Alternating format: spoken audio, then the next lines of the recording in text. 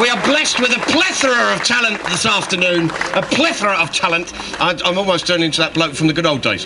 But I want you to welcome the next performer up here. She's remarkable. She, like everyone here, is performing at the Fringe. Please welcome the wonderful Zoe Lyons.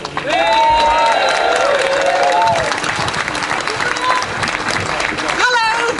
Oh, At the Fringe. Nice to perform for an audience for a change.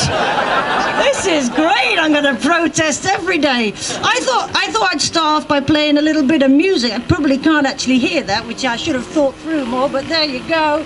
I, uh, it dawned on me the other day. I don't know whether I don't know whether you're into sports. Lesbians into sports? Come on, must happen.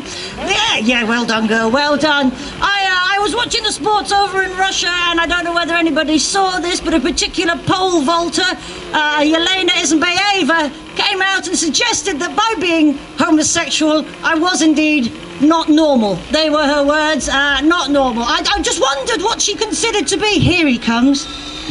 Oh, can you hear him?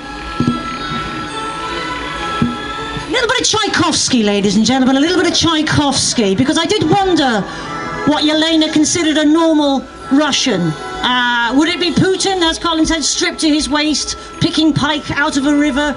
Or would it indeed be a, a Russian genius like Tchaikovsky? Would that be considered a normal Russian?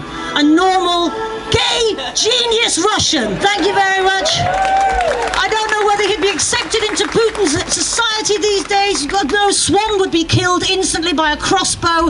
Uh, but I did, I, I did, I take offence at being called. Um, not normal by a woman who has chosen to make a career out of running at a crash mat with a giant toothpick. It, it just offended me. I'm sorry it did. Uh, I have been with my partner, my girlfriend, for, for 15 years, ladies and gentlemen. It's what I, I'm most proud of in my life.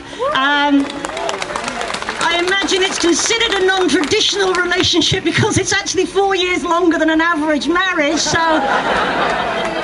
And if this is the sort of relationship that so frightens Russia at the moment, then count me in because we are so boring as a relationship. We we haven't even changed our our energy supplier in the last five years. That's how that's how dull we are. Is it a normal relationship? Is it hell? Of course it's not. I've yet to meet a normal relationship. My girlfriend had to cut me out of my own anorak last week. Hardly a normal relationship. But we are very much in love, and that's all that matters. We had a civil partnership six years ago. It was a beautiful affair, it really was. I'll be honest with you, we didn't think things through properly when we were campaigning for civil partnerships because I thought it was my, my wedding day in my mind. I thought, I'm going to make an effort. I'm going to make an effort. I am going to make an effort. I hadn't banked on the fact that my girlfriend was going to make more of an effort. Didn't think that through as a problem, did we? Just two women turning up on their wedding day. I was stood there going, I wanted to be the princess. Russia, why are you doing this? I love vodka. It's killing me. I'm going to have to drink gin until you change your mind, quite frankly. I'm not fond of gin. I do like a drink. Being here at the Fringe, I've been drinking perhaps a little bit too much every now and again. It dawned on me I was probably consuming a bit too much the other day when I got up, turned to my girlfriend, and went, Woo, that's a very nice breakfast wine. Not normal. Not normal, ladies and gentlemen. I'm, I'm, I'm lucky enough I live in Brighton, which is a, a city, yeah. Woo, Brighton girl, yeah. It, it does produce that sort of response, doesn't it? Brighton! I love it. We're very lucky to live there because I'm, we are largely accepted where we live, and that is such a privilege and, and a, a, a basic human right, and I'm very, very happy for that. I, uh, and I, I've got a lot of gay friends down there, and the thing that strikes me living in Brighton with a lot of gay friends is we're all different. We're all different. Gay is such a big umbrella. We are all so different. We all have different things to bring. I, you know, people assume because I'm a lesbian that I'm a vegetarian. Does anybody else get this? In the room, do people do you get that? Yeah.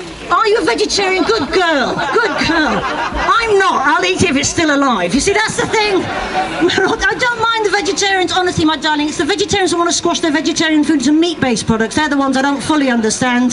The veggie burgers, veggie bangers. I think to myself, no, sorry, if you don't want the meat, you can't have the shapes. But there we go. We've all got our cut-off point. Go home, listen to some Tchaikovsky. If you can say it properly, Tchaiko- Tchaikovsky. I've been Zoe. Enjoy yourselves. Take care. Thank you so